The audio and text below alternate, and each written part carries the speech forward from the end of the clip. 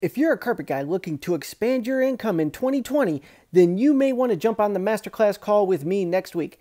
Thursday, January 16th at 6:30 p.m. Eastern Time, I am hosting a call on Zoom hoping to bring in other installers and share the strategies I've used to grow my income and you could do the same exact thing in 2020. Now, what's the cost for the call? Only $12 to jump on. I hope to network with some great installers all across the US on this and really have an impact on your income this year. So if this is for you, there is a link directly below this video. You can go ahead and click that link, jump on there, and I look forward to seeing you on that call. But anyway, let's get into the content of this video. You've seen us manhandling that pool table. Now we're using it as a tripod holder. got Chase Nasty laying all the pad out for us. We just unrolled that carpet like this is an Empire commercial or something, and it's already installed. Everything's moving along fabulously here.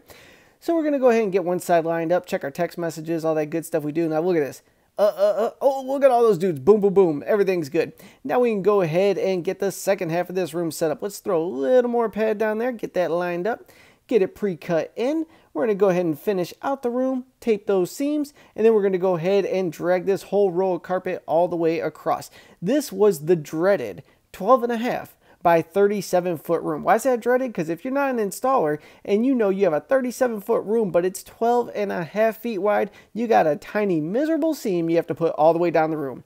But whatever. We got things going today. We got our cash flow coming in. So, hey, you can't complain about that. It was three drop rooms upstairs along with a hallway. Overall, great job. We even had a cameo by Flooring's best installer, Mr. Santavica, came in and hung out with us today. So that was cool, catching up with other installers in the area and knocking out jobs with the quickness.